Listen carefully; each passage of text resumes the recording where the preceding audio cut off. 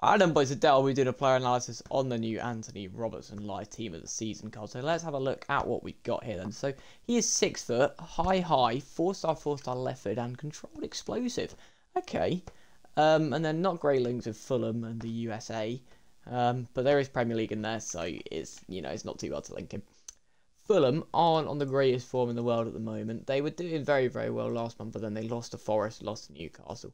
Uh, and they beat West Ham last week, so actually, I regret what I said there. They they're not doing too bad, but they have got their next four games is Liverpool, Crystal Palace, Brentford, and then Man City. So probably going to lose to Liverpool. Uh, probably going to lose to Man City.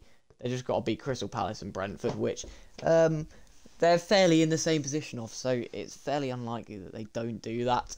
Um, but very possible. I don't see them scoring eight goals. Fulham just don't score goals. They keep they keep fairly good. Well, they actually they did score a lot of goals recently. Never mind. Never mind. They might get that if they get three goals against Palace, three goals against Brentford, like they have been doing against those sort of teams. Then he might get that. But let's have a look at his stats then. So he's got really great pace.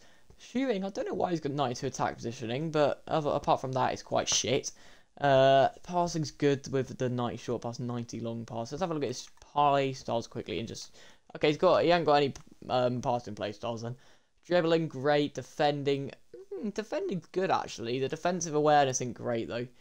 Um, and then physical's great as well. So it's actually a really, really nice card. Um, he's got block plus, rapid plus, relentless, long throw, whip pass, slide tackle, block plus, jockey, and incisive pass. Um, so a really great card, and with probably an one upgrade coming in. 86k very, very, very nice price. It's a nice card.